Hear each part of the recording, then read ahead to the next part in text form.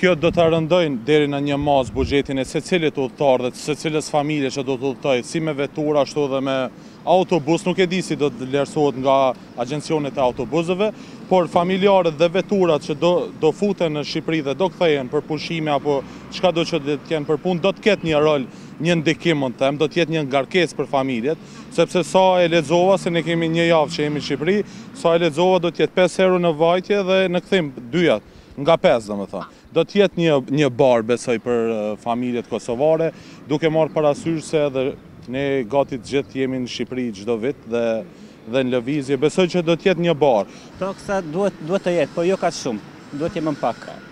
Është shumë, pesë euro vajtje, pesë euro kthim, është dhjetë euro, është koxha shumë. Për standartin e, e kosovarëve është koxha shumë është.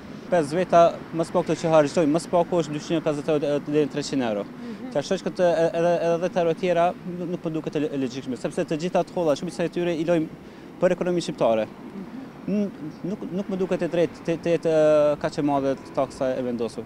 Duhet, duhet të ketë taksë, po duhet të jetë pak më e vogël. Ne po flasim vetëm për familjet tani dhe veturat, po dhe në aspektin e biznesit, për kamionët, autobusët dhe dhe të tjerët do të jetë koxha në konsiderim, sepse ata bëjnë hyrje dalje më shpesh në kufi dhe në rrugën e kombit, do do t'i analizojnë ata kostot, sepse çdo kosto duhet të analizohet dhe duhet të mirret parasysh në fund.